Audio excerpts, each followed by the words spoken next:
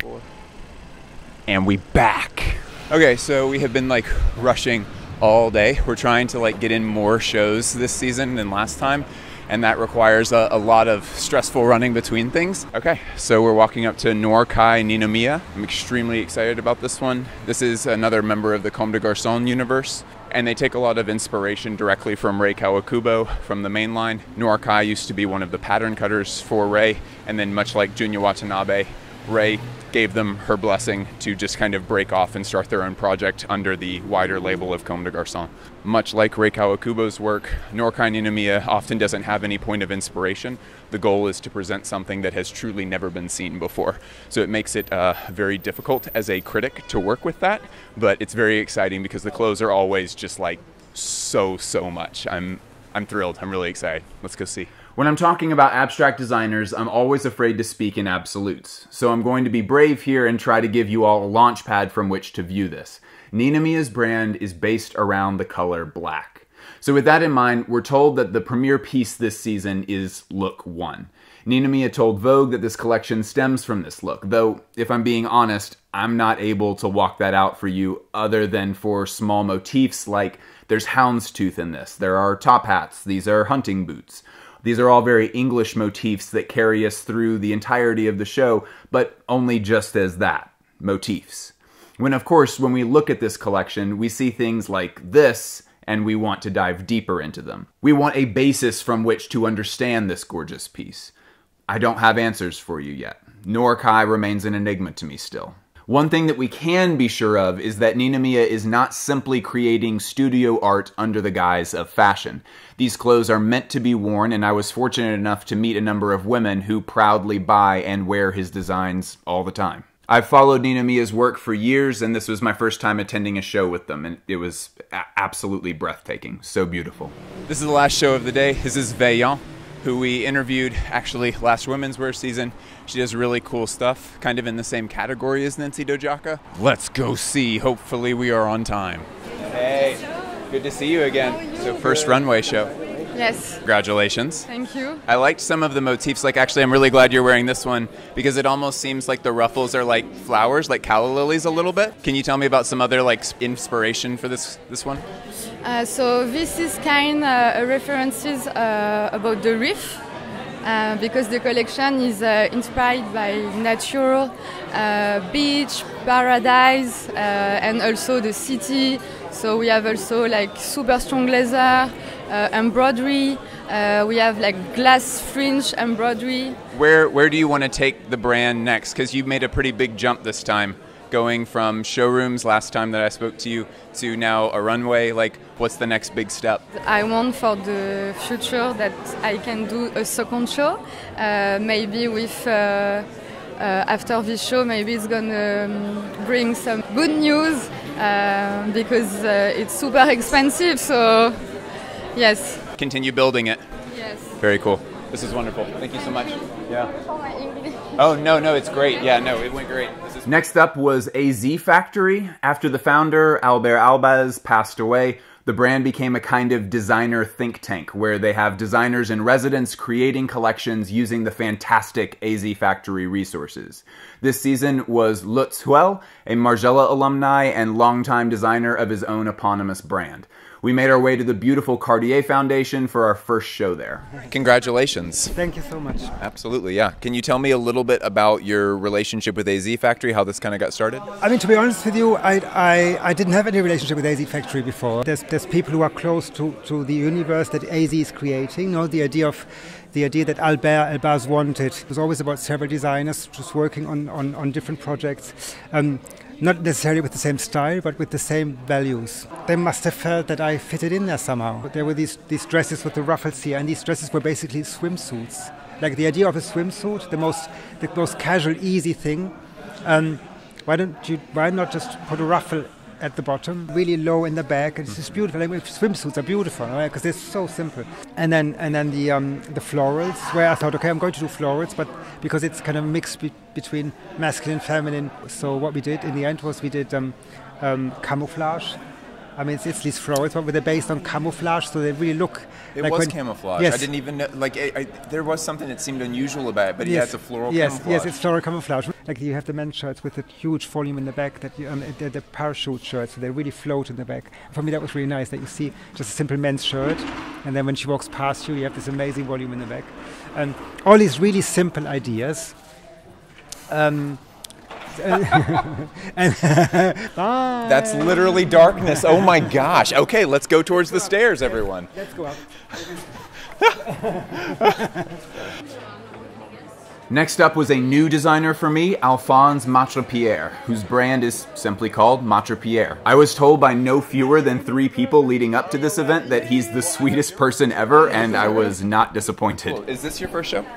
No, no, no. Actually, it's my uh, fifth. This now. is the fifth one. Okay, Yeah, cool. This yeah. is it's my first show with you. There was a lot of very surrealistic stuff in this one. Like I think the first model was carrying yeah, were they carrying a dead horse? Yeah, exact. Because um, you know, like the the whole story is about the tail donkey skin. I don't know if you saw this movie from the 70s of Jacques Demy. You should. It's so good. It's one of the first movie with Catherine Deneuve, and she's just like exquisite with big dresses, and like she escaped from a castle, and so just to hide herself, she put donkey skin on her, and so it was a bit like. There were some references, but we, of course, we tried to like twist it in a more contemporary way, and like it's more donkey skin, but 3.0. It's so risky using florals like for a, a spring collection because it's like it's it's scary now, right? Tell me about the thought process of that led up to like we're gonna do the florals and it's gonna be the main print. At the beginning, it was supposed to be horses for the print, but very, very early on the process, we just like figured out that it was not a good idea. So we just decided to do flowers because on the movie there is a rose would like tell to the characters what to do. So I really love that. You know, for me, like Prince, it's really like the red bond, you know, between the whole collection, just like this rose on the movie. So it was okay for the concept. I'm gonna do it like that, and just like the collaboration that we did with uh, Desigual, it looks like flowers, but it's mantis. We really try, you know, to have flowers who doesn't look like flowers. This was wonderful. Thank you so much. It was Thank great to meet you. Yeah. Thank you. Thank you. Yeah. We'll see you next time. See you next time. Yeah. Botter was up next, and just one season after we completed a whole documentary about Rushemy and Lisi's work, I was excited to see how the brand had evolved in just six months. Let's start with a series of outstanding styling details. Frozen bags that were actual literal frozen water. I saw the pieces backstage in a freezer before the show started and was like, please let this be on the runway. Please let this be on the and it, and it was. It was on the runway. We had climbing rope that was tied around models' waists as a base layer or some kind of waist trainer. We see similar mega shoes to last season that are now enshrined in this clear casing that makes them appear to be in still water, even when they're in motion, when the, the model is walking. We also see rubber gloves with a webbing detail that are often used among hardcore gardeners and power swimmers, two activities that gel perfectly with the Botter ethos. The thing to always watch with Botter is the tailoring, and they're now introducing a kind of two tone color blocked paneling to complicate the final appearance of their suits. They continued their deconstructive narrative in suiting with a paneled piece that looks like a wetsuit being peeled off, and this other one that I loved that seemed to be a tucked in blazer whose lapels lay over a top blazer that's more streamlined, like no lapels and stuff. There were also these interesting tube dresses that were composed entirely of a kelp material. You did hear that correctly. We also had more subtle details like denim that appears to have been treated to resemble the way that light gets unevenly distributed in ocean waves. Most of these details were a bid to bring the runway and water closer together, most notably in the water filled condoms that went over models' hands to create a kind of mini ecosystem on the runway. Botter's entire brand is built around humans' often misused relationship with the ocean, and that vision is becoming clearer and clearer each season. We traveled across town to the fantastical 3537 building for Vaquera, a New York brand that now shows in Paris with the backing of Dover Street Market.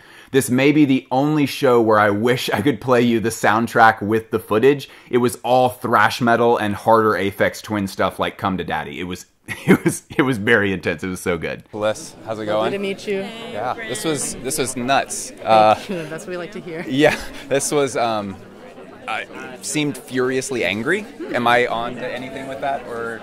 I don't know about anger, but definitely intensity and like you know, look at me. You know, it's Yeah. about like drawing people's attention and demanding that they see what's going on. Usually, when I'm watching shows, I try as hard as I can to kind of keep tabs on like what references and sort of what themes I'm seeing, and I lost track around Look Six. Um, and I know that like kind of the people of New York is sort of what you tend to draw inspiration from. Was that where this one was at this season, or did we shift?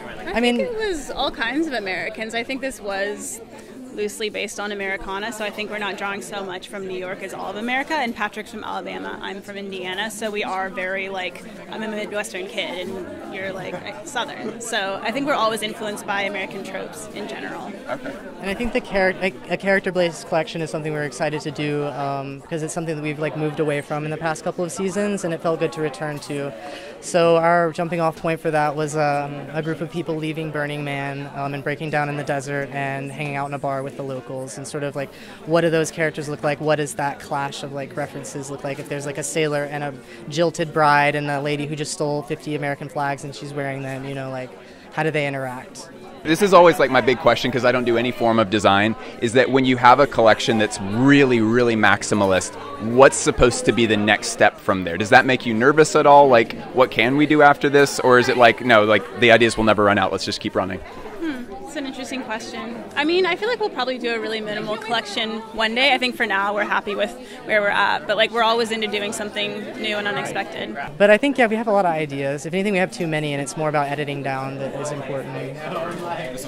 Next, we had to travel a few blocks away and fight through massive crowds to arrive in time for Koche. Christelle Kocher created a collection inspired by the technology that's quickly becoming a larger and larger part of our lives. The collection was done in collaboration with Google's ATAP department, which stands for Advanced Technology and Projects. It's a, a team at Google that creates products that are meant to change the way that people relate to technology.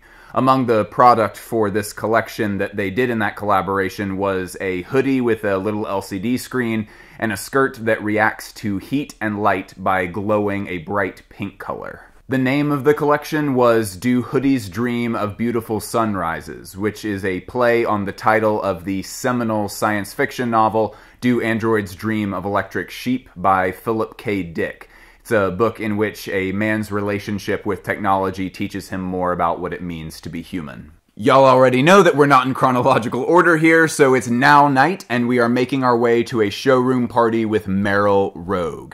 Meryll Rogge. I was honored to be Meryll's first video interview ever, and I've had the privilege of closely watching her work develop over the last year. You are now officially, now that we've started speaking, you are officially my most interviewed designer of all time. Oh wow. Three. You have, An honor. You have three, Actually, yeah. it's funny because um, you know when I I didn't know who was coming tonight, and then I wondered, I wonder if Bliss is coming. Is Always. he snobbing me? Always. so this is kind of a weird collection for you in a good way. You you designed this during a pretty hectic part of your life, and then because Yeah. your your child was just born, three months old, Yes, almost. Yes. almost three yes. months old, and then this is also a collaborative collection, which I don't think you've done before. I have not done it before. Uh, and it's also a kind of a nostalgic collection uh, for me because in March, after the previous fashion week, we like a week later we went to LA and uh, it was amazing. I loved it, and so it was really inspiring, really, and that was like the beginning point of the collection.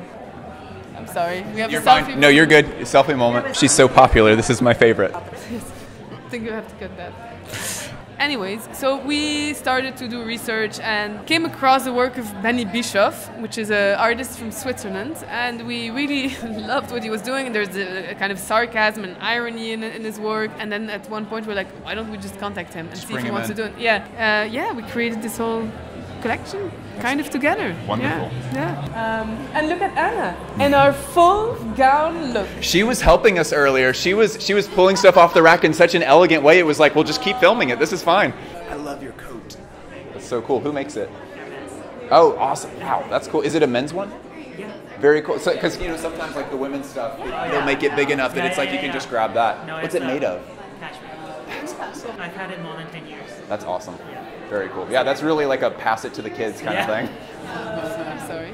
No, not at all. This is wonderful. Thank you so much. I'm gonna let you get back to the party.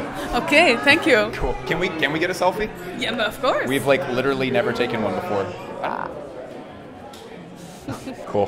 Thank you, Mel. Thank you, Blake. Please tell me your name. Ray Rachel. The brand pronounced like R A Y, so it's Ray. Can you tell me a little bit about the collection just in general for this one? Yeah, the collection is was inspired by lockdown in Shanghai for two months. So it's more about like some stressful feeling and tension and everything. So I made a lot of like sharp items and uh, some broken mirror and a very uh, sharp sound like this. I mix all of this together and to express this feeling and some bloody red color and uh, that.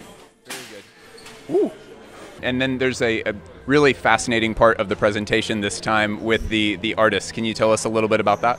Yeah, the friend, uh, the art, the shibari artist is my friend. Human, you want to come? My name is Human Cho. I'm a shibari artist. For every, anyone who doesn't know a little bit about what shibari is. Uh, actually, it's uh, the bondage, but the Japanese way. So we u- use a jute rope to tie up the model, let them be immobile. In Japan, the shibari was used to tie the prisoner. Nowadays, we are more utilized uh, in different ways, maybe uh, performance, maybe installation, or for fashion. Um, I love her collection so much, and like make me reminds me the shibari is like uh, something very fluid. Thank you so much, both of you. This is beautiful. Thank you. Thank you. Back in a car and heading across the city to another show. I'm still trying to figure out how other fashion editors dependably do this for four straight weeks of shows. You would have to basically take a helicopter and get airdropped to see everything all week without being late. Next up, we had Christian Wijnants, a Belgian designer who started his career by winning the Woolmark Prize. Christian has been showing since 2013. Uh, this is Hi, hi, hello. Nice How to meet you? you. Absolutely, congratulations. Thank you very much. Thank Yeah. you. Can you tell me a little bit about the core concepts in the collection? Yeah, sure. So um, it's my favorite season, summer, uh, especially the end of the summer when you go to the beach. You still have some sand over uh, after after laying all day, um, doing basically nothing.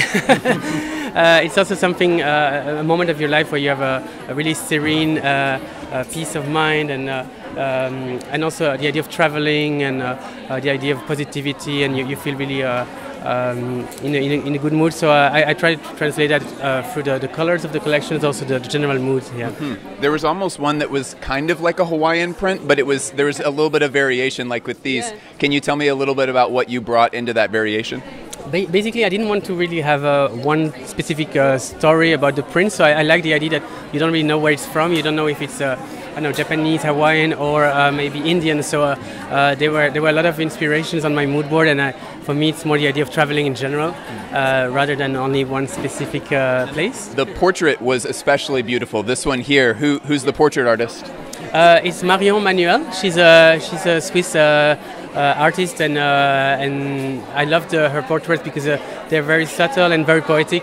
Uh, they are portraits of uh, Indian uh, teenagers, um, and they were very inspirational for this season. This was so beautiful. Thank you so much. Thank you, thank Yeah, you. Have a good one. Next up was GmbH, a brand that I've loosely followed for about two years, but never officially attended a show for. Benjamin Huseby and Serhat Isik are going through a very hectic time in their careers right now.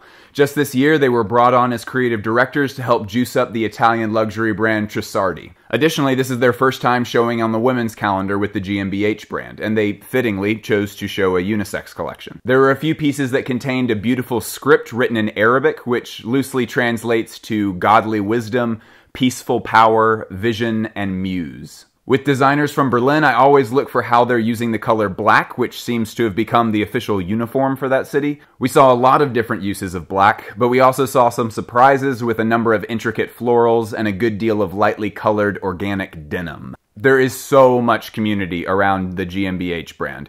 When the designers came out at the end, you could tell that the front row was full of friends and family. So we're walking up to Benjamin Benmoyal, and I almost tripped.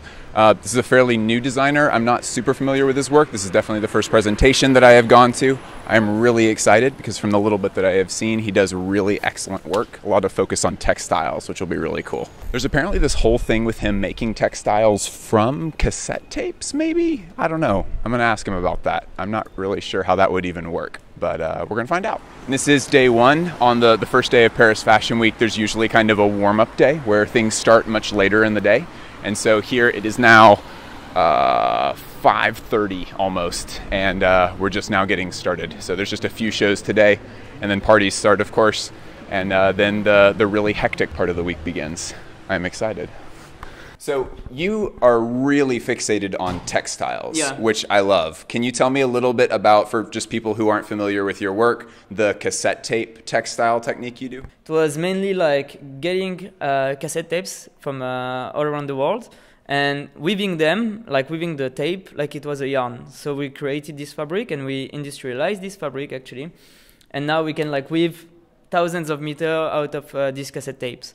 We developed now a jacquard, uh, which is like inspired by the Monet paintings. I Uh, noticed that that's the floral one. Yeah, exactly. Yeah, that one is beautiful. It, Thank it, you. it looks so complex because of the way the flowers have to be depicted. Yeah. Is there? I mean, is there anything to the technique side of that, or is it just? The technique is crazy. Well, that's jacquard. So jacquard is uh, quite an amazing technique, and basically we wanted to uh, make the textile looking like it was a painting. Um, so every kind of flower and every kind of colors has a different weaving technique. There is something like 15 different weaving techniques into this fabric. So it's a couple of months of uh, development uh, to create uh, again the armure in French. Uh, and yeah, we get this amazing textile, which is also again completely woven out of upcycled yarns. Um, it's not just to be completely upcycled; it's just my way of creating things. I need to be limited to create uh, stuff. This this was great. Thank you so much. Thanks to you. Yeah, Thanks to you. absolutely. Yeah. Thank you So I'm gonna do snaps, I guess, at first. You ready? Yeah. Two, three, four, five. Hi, I'm Florentina Leitner and I'm from Austria, but based in Antwerp. This is my first season in Paris. I showed digital last season in uh, London. The collection, it always starts with like different things I'm getting inspired by. And uh, one of the things was when I was in summer in Austria at this lake apartment with my mom, there were this amazing teepee kind of tents, and I knew them already from when I was a child. And I really thought, oh my god, this is so cool. I would love to bring this to Paris. And we, when you saw it downstairs, they were like built in there. And it was just like this summer feeling for me because I was always there with my parents and we had some picnics there and we saw some deers because there's a lot of wildlife in this area. And that's why I made also some deer prints. Like this baby doll dress has like the deers and we have it also in pink. Oh, prints prints of literal deer. Like I thought you meant like like deer fur, but it's literally just like photos of deer, illustrations. It's an illustration. It's by an artist called Rob van Mierlo. And he makes really blue, beautiful like watercolor paintings. He also did some stuff for Marni and for MS already, so I was like always following his work, and I was like, oh, I would love to once do something with him. And now I got him to to give us this deer, which is like really cute, and I think the collection always very girly. Thank you so much. This is wonderful. Thank you so much, Yeah, and uh, enjoy again the presentation. and I hope you like. I would like to formally give a massive thanks to everyone who supports this channel on Patreon. YouTube does not pay nearly enough to make videos like this happen, so I depend on you all for the budget to pursue coverage like this. Truly, I mean, really, from the bottom of my heart, this means the world to me. Thank you. If you want to be part of the journey of making the best fashion criticism on earth possible, go join the Patreon through the link in the description for this video. You're all the best. I'll see you next Monday at 11 a.m. Eastern Time.